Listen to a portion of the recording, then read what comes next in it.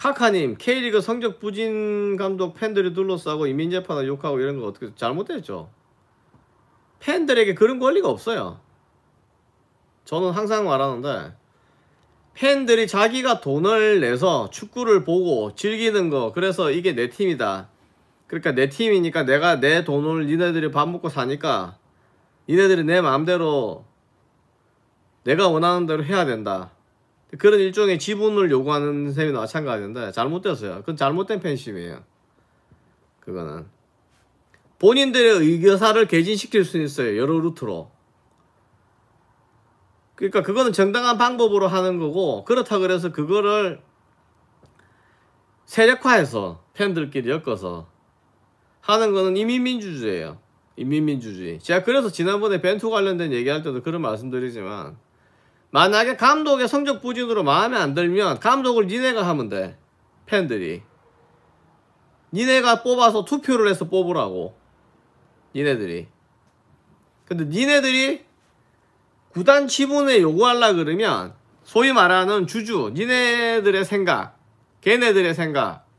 우리가 티켓을 사줘서 니네가 우리 내가 돈 내놓으러 밥을 먹고 사니 내가 나에게 정당한 비판의 권리가 있다고 얘기하는 애들한테 니네가 1년 동안에 총 관중이 얼마나 들어와서 관중 수입으로 구단에 몇 얼마 정도의 재정에 도움을 되는지를 뽑아서 그럴 거면 구단 지분 전체 지분에서 니네 지분을 계산한 다음에 거기에 대한 만큼만 발언을 하라고 얘기를 해야 된다고. 웃긴 얘기 같지만 이게 왜 그러냐?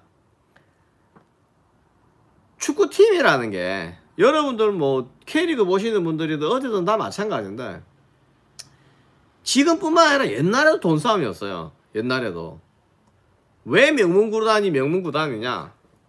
옛날에 바이에른 뮌헨이 왜 그렇게 많은 분데스리가 컵을 들어올리고 바르셀로나와 레알 마드리드 이런 팀들이 왜 그렇게 많은 컵을 들어올리고 했고 옛날에 리버풀이 왜 그렇게 많이 했냐 결국에는 재정이에요 프로팀은 좋은 재정이 있어야지 좋은 구단 시설을 갖추고 많은 팬들을 불러 모으고 그 팬들 티켓 가격을 합쳐서 선수들 월급을 줄 수 있고 감독 월급을 줄 수도 있는, 있는 거고 중계료도 나눌 수 있는 거고 그랬었어요.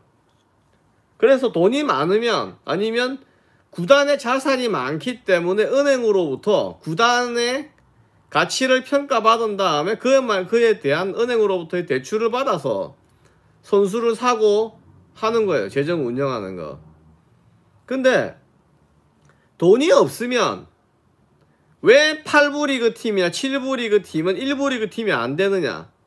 8부 리그에 있는 팀은 그런 돈이 없기 때문이에요. EPL에. 영국에 만약에 8부 리그에 있는 9부 리그에 있는 팀이 하나 있어요. 동네 축구팀이. 그 진짜 동네 축구팀이에요. 9부 리그 이런다 가면. 거기에 어느 날 만수르가 내 저 팀 하나 사가지고 기적을 한 만들어 보겠다 하고 하는 짓은 뭐예요?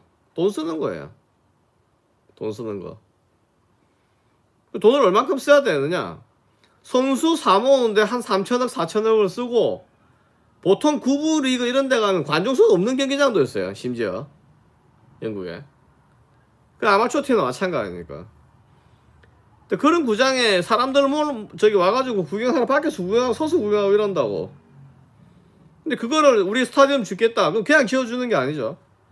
어딘가에 땅에 땅을 빌려서 아니면 땅을 사거나 해서 거기에 건축을 하는데 건축도 자기 돈다 묻지 않아요. 왜냐면 지어놓으면 큰 시설물이 되면 그거 자체가 담보, 담보물이 될 수 있기 때문에 재산 가치가 되기 때문에 은행에서 돈을 빌린다고 그게 소위 말하는 PF라는 거예요. 프, 저 프로젝트 파이낸스라는 거. 근데 그거 해가지고 건물을 지어 올리고 다 해요. 그런 식으로. 돈이 없는데 지금 우리나라에 있는 감독 풀 한번 보세요.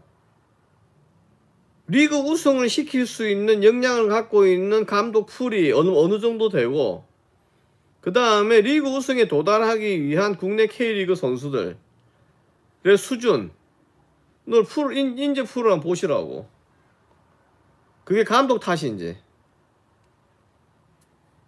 감독만 바꾸면 지금 예를 들면 성남FC에 과르디올라가 오면 1부 리그 올라갈 수는 있겠죠 1부 리그로 올라가면 과르디올라가 K리그를 해서 우승을 시키려 그러면 전북 현 전북이나 울산 현대를 대상으로 K리그 우승을 시키려 몇년 걸릴지 몰라요. 그거는. 그 유명한 정정윤도 갔고 그 다음 김병수도 가고 이랜드 보세요. 못 올라오는 거. 이랜드가 초기에 돈을 많이 썼는데도 불구하고 그래서 팬들도 감독한테 그렇게 하면 대우를 하면 안 돼요. 저 그거 자체는 완전 히 잘못됐어요. 우리나라는 그러니까 이게 왜 그러냐? 소위 말하는 그 촛불 인민재판이랑 똑같은 거예요. 김재동이가 하는 얘기. 모든 권리는 국, 저기 그거는 권한 그 권력은 국민으로부터 나온다. 국민이 주권자다. 국민이 주권자고 민민주주의를 하지. 뭐하러 대의민주주의를 하나? 그 저기 성적 부진 팀들 그 팬들이 감독 저기 뭐지 뽑으라고. 그 니네들이 돈 내가지고 걔 월급 주고 그 다음에 국가대표 선수 다 데려오라고. 그 니네 돈 주라고. 돈 줄 생각이 있냐고 니네들이. 그게 안 되면 안 되는 거예요 그거는. 아주 간단한 거를 어거지로 쓰는 애새끼들이네. 전부 다 하는 짓들이. 보면